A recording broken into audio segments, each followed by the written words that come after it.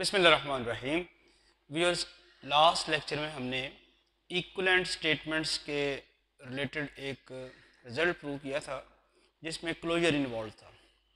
तो आज के लेक्चर में भी हम इक्वलेंट स्टेटमेंट का एक रिज़ल्ट प्रूव करने लगे हैं, जिसमें इंटीरियर इन्वॉल्व है। तो स्टेटमेंट देखें let f size let f be a mapping of one topological space X into another topological space Y then the following statements are equivalent f is continuous f inverse v is open in x whenever v is open in y f inverse a interior is a subset of f inverse a whole interior for every subset a of y last जो result हमने prove किया था उसमें closure का ज़िक्र था और यहाँ फिर क्लोज सेट का ज़िक्र था इस थ्योरम में ओपन सेट का ज़िक्र है और साथ इंटीरियर का ज़िक्र है तो इक्वलेंट स्टेटमेंट जैसे मैंने आपको लास्ट लेक्चर में बताई थी कि हम फ़र्स्ट अज्यूम करके सेकंड प्रूव करेंगे सेकंड अज्यूम करके थर्ड प्रूव करेंगे और थर्ड अज्यूम करके फिर दोबारा फ़र्स्ट अप्रूव फ़र्स्ट जो है वो प्रूव करेंगे।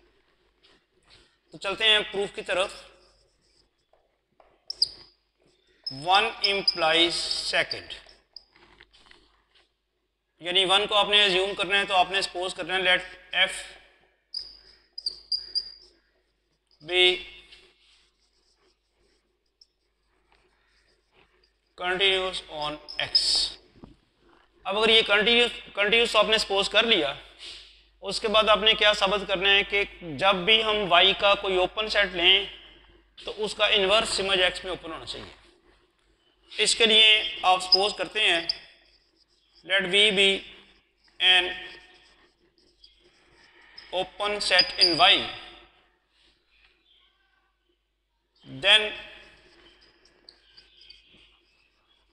we have to show that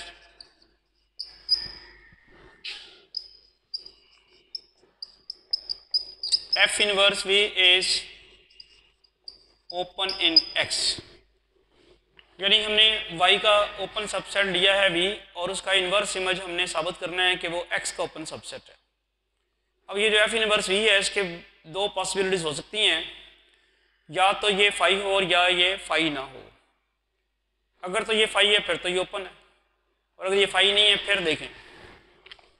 यानी, अगर हम ये कहें कि if f inverse V is equal to phi then it is open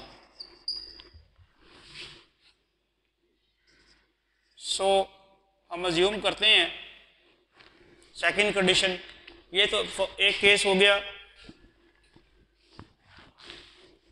और अगर ये फाई नहीं है, फिर हमें प्रूव करना है। If f inverse V is not equal to phi. अगर ये फाई नहीं है तो फिर इसमें कम से कम एक पॉइंट तो होगा। Then there must exist some X belong to x in f inverse v. That is, कुछ x के एलिमेंट्स होंगे जो इसमें होंगे। अगर x, f इनवर्स v का एलिमेंट है तो f ऑफ़ x v जो है वो, f ऑफ़ x जो है वो v का एलिमेंट होगा। अब v को आपने ओपन सेट कहा होगा। और ओपन सेट जो है वो अपने हर पॉइंट का नेबरहुड होता है। ये देखिए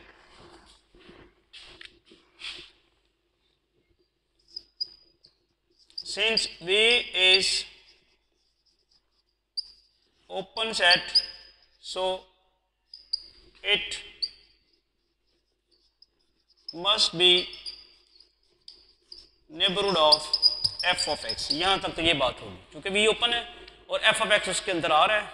लिहाजा वी ओपन सेट होने की वजह से चूँकि अपने हर पॉइंट का नेबरहुड होगा तो ये एफ़ ऑफ़ एक्स का भी नेबरहुड होगा।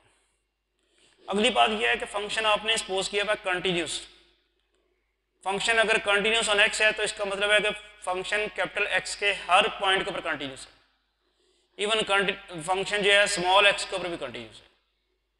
तो फिर कंटिन्यूटी एट अ पॉइंट की डेफिनेशन यूज़ करते हैं। Since f is continues on x.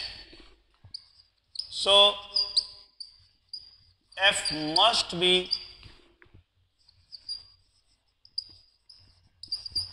continuous at x belong to x. So by the definition of continuity at point.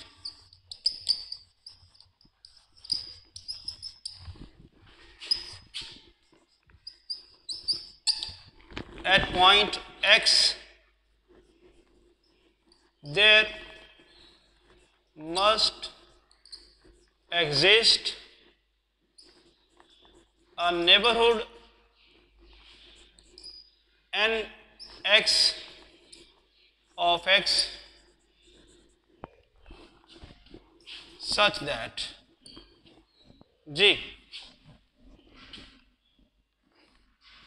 f of n x is a subset of v.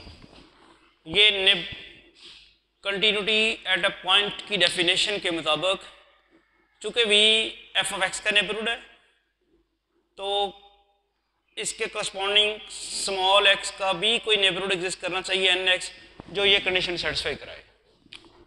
अगर ये condition satisfy होती है तो N x subset हो जाएगा f inverse V का। Same relation one कर लेते हैं।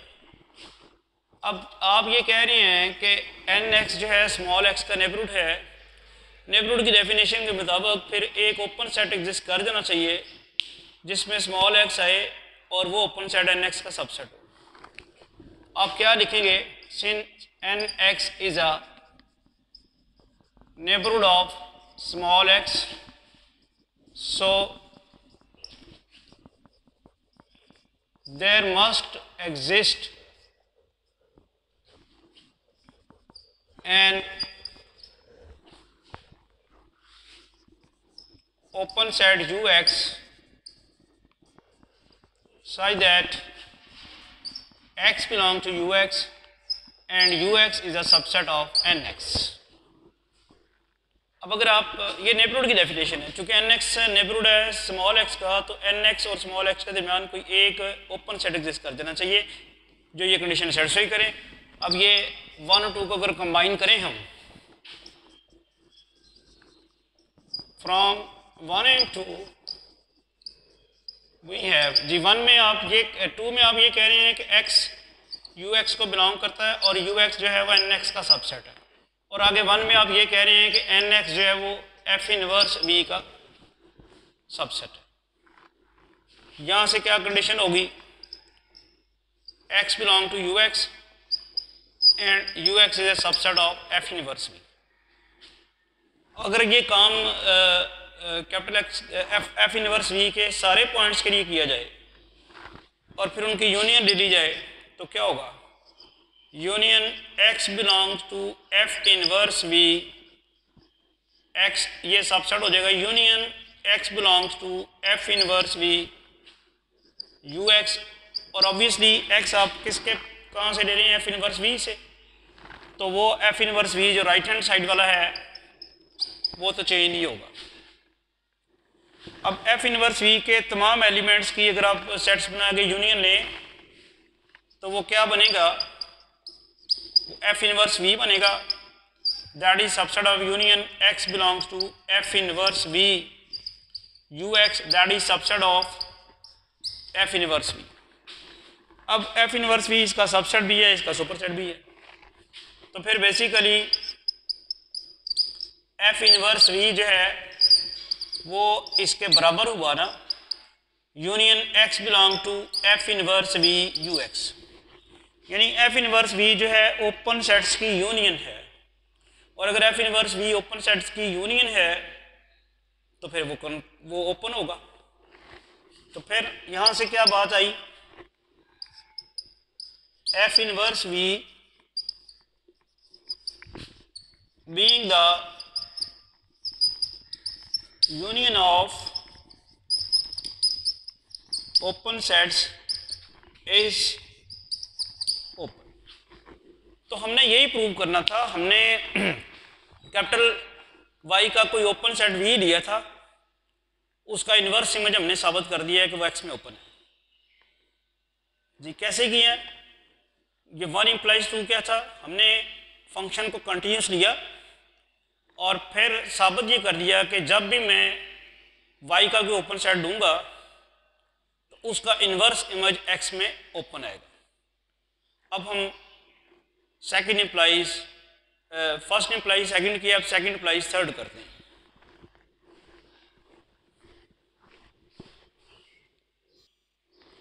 सेकंड इम्प्लाइज थर्ड में हमने सेकंड एज्यूम करके थर्ड साबित करनी है।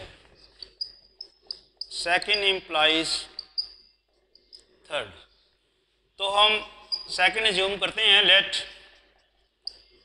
f inverse be open in X.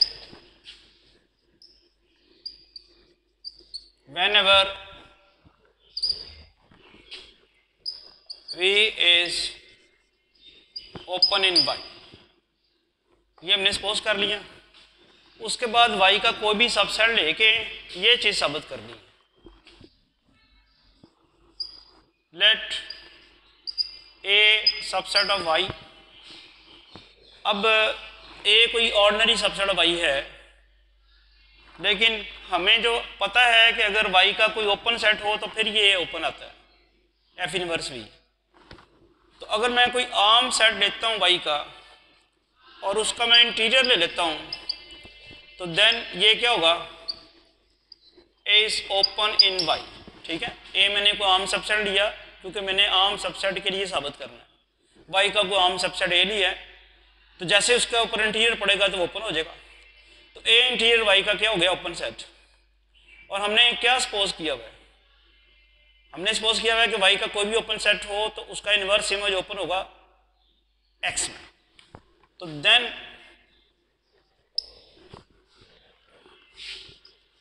By assumption जो हमने अज्यूम किया हुआ है f inverse a will be f inverse a interior क्योंकि a इंटीरियर ओपन है ना f inverse a interior will be open in x now ये आप सबको पता है a इंटीरियर a का सबसेट होता है f इनवर्स a इंटीरियर भी सबसेट होगा एफ़ इनवर्स ए का। अब यहाँ से ये पता चला था कि f inverse a interior open है। यहाँ से ये पता चला है कि f inverse a interior f inverse a का सबसेट है। इसका मतलब है कि ये जो है, इसका ओपन सबसेट है।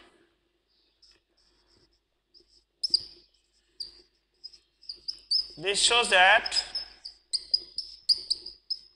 f inverse a interior is an open subset of f inverse a ये हमें पता चला कि ये एफ़ इनवर्स का ओपन सबसेट है। लेकिन एफ़ इनवर्स ए का सबसे बड़ा ओपन सबसेट क्या होगा? कौन सा होगा? But f inverse a whole interior is the largest open subset of f inverse a किसी भी सेट का सबसे बड़ा ओपन सबसेट उसका इंटीरियर होता है। अब पता ये चला कि ये वाला इसका कोई आम ओपन सबसेट है, लेकिन ये इसका सबसे बड़ा ओपन सबसेट है। फिर इन दोनों के दरमियान क्या तल्लक होगा? जो सबसे बड़ा है वो इससे भी बड़ा होगा। F inverse A interior is a subset of F inverse A whole interior. तो हमने यही तो साबित करना था। यही तो उसने कहा था कि ए कोई भी वाई का सबसेट लें तो ये कंडीशन होल्ड करेगी। अब हमने थर्ड इम्प्लाइज फ़र्स्ट करना। थर्ड इम्प्लाइज फ़र्स्ट में क्या है? कि ये कंडीशन हमने अज्यूम कर लेनी है और फ़ंक्शन को कंटिन्यू साबित करना है। Let f inverse a interior be subset of f inverse a whole interior for a subset of y then we have to show that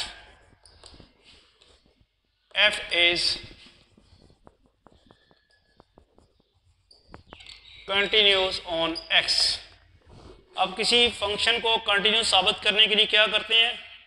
Y का जो ओपन सेट लेते हैं और उसका इन्वर्स इमेज ओपन साबित करते हैं। उसके लिए फिर हम क्या करते हैं? For this let v be an open subset of y. then by assumption भी हमने कोई ओपन सबसेट ऑफ़ वाई लिया अजम्पशन ये है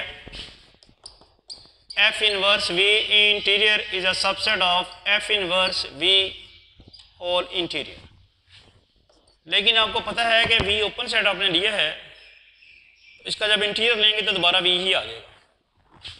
तो ये आ जाएगा f inverse v is a subset of f inverse v interior इसे हम यहाँ वन कर लें। या अगर आपने कोई लेबल पहले दिए हुए हैं तो उसको देख के री राइट भी कर सकते हैं। इसको आप, चूँकि थेरम एक ही चल रहा है तो इसको आप लास्ट इक्वेशन देखने कितनी दी हैं? I think one two three दी हैं। इसे फोर कर लें।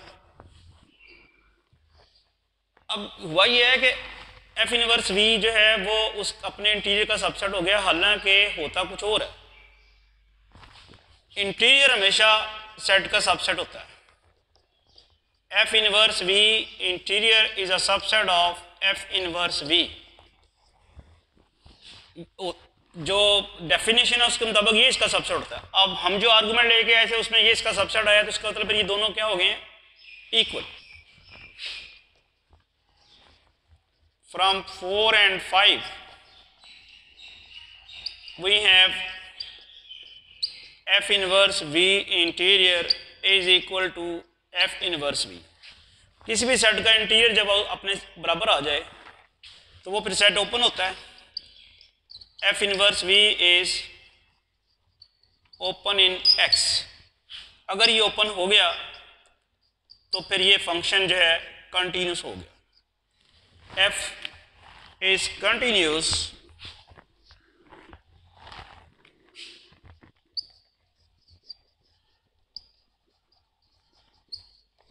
on x. तो हमने थर्ड लेके कंडीशन फ़र्स्ट भी प्रूव कर दी है। इस तरह से हमारा थ्योरम कंप्लीट हो गया। फ़र्स्ट कंडीशन लेके सेकंड की सेकंड लेके हमने थर्ड की और थर्ड लेके हमने फ़र्स्ट कर दी। ये कंडीशन लेके हमने साबित कर दिया कि फ़ंक्शन कंटिन्यूस है। तो होपफुली आपको ये भी लेक्चर समझ आ गया होगा। ये पिछले लेक्चर की तरह कहीं है, वहाँ क्लोजर इन्वॉल्व था और यहाँ इंटीरियर इन्वॉल्व